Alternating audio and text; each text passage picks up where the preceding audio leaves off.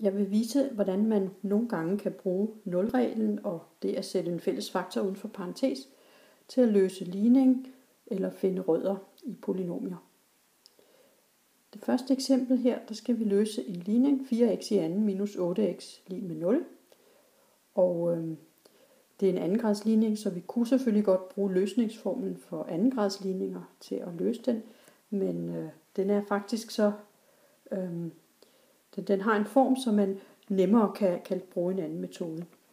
Vi kan se, at de to led, altså 4x i anden og 8x, de har en fælles faktor. 4 går op i begge led, og x går også op i begge led. Så den fælles faktor kan vi sætte uden for parentes. Det må altså være 4x. Og så står der tilbage inde i parentesen, skal vi kigge på det første led. Det må være x. Og det andet led, det må være 2. Og øh, det her med at sætte en fælles faktor uden for parentes, det er sådan set lidt det omvendte af at gange ind i parentes. Så vi kan jo se, om vi har gjort det rigtigt ved at lige at prøve at gange 4x ind i parentesen. 4x gange x, det er 4x i anden.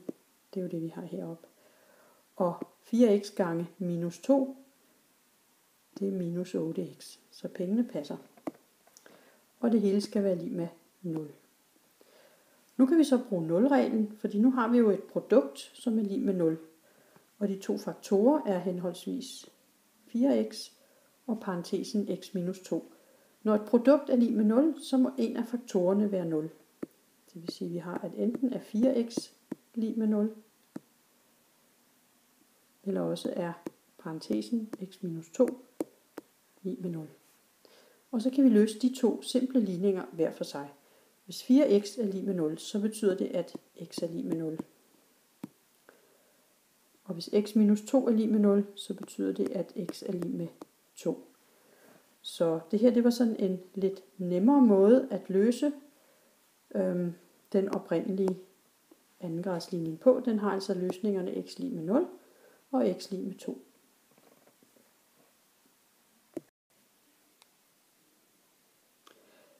Ja, vi kan bruge det samme princip til at finde rødderne i det her polynomium. At finde rødderne i et polynomium, det betyder jo at løse ligningen f af x lige med 0. Altså at finde nulpunkter, nulpunkter og rødder, det betyder det samme. Vi skal finde de x-værdier, hvor funktionsværdien giver 0. f af x, det var 2x i 4 minus 18x i anden med 0. Og så skal vi så finde øh, først øh, fælles faktor og sætte uden for parentes. Og så vi, vi skal altså se, hvad der går op i begge ledene. Øhm, og 2 går op i begge led, og x i anden går op i begge led. Så 2 x i anden kan vi sætte uden for en parentes. Og tilbage inde i parentesen kommer der altså fra det første led x i anden, og fra det andet led 9x med bare 9. Sådan. Og vi kan lige gøre prøve ved at gange 2x i anden ind i parentesen. 2x i anden